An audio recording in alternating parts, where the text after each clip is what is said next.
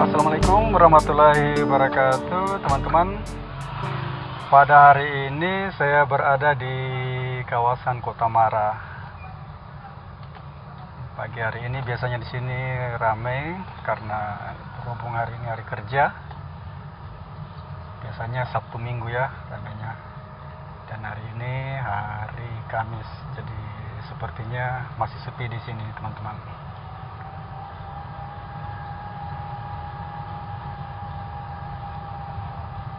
Oke teman-teman, ini kawasan Kota Mara ini adalah kawasan reklamasi. Dulu di sini adalah laut yang kemudian ditimbun dan jadilah seperti ini. Ya teman-teman, waktu penimbunan ini masih masa Wali Kota Bau-Bau Dr. Andus MZ Amirul Tamin MSI. Beliau yang menggagas untuk membangun pantai ini dan sekarang cukup dikenal dan menjadi tempat favorit bagi warga kota Bau-Bau ya teman-teman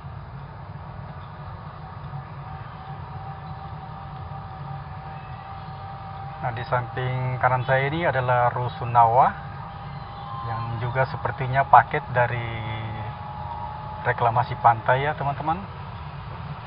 Dan Rusunawa ini diperuntukkan untuk para pedagang-pedagang yang berada di sekitaran Pasar Wameo. Dan sini cukup murah sekali dibanding dengan tempat kos yang lainnya kalau tempat kos itu kisaran 400 dan 500 ribu per bulan. Tapi di Rusunawa ini harga bervariasi. Semakin ke atas lantai ke atas semakin murah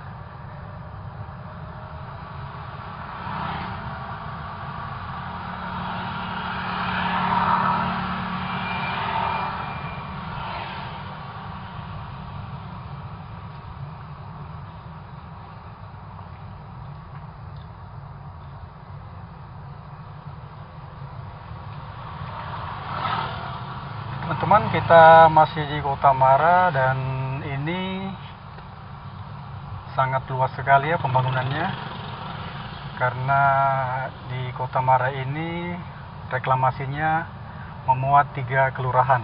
Maksud saya maksud kami ya eh, mencakup tiga kelurahan yaitu kelurahan Nganaumala kelurahan Kaubula dan kelurahan Wameo jadi sekali reklamasi tiga kelurahan tercapai teman-teman.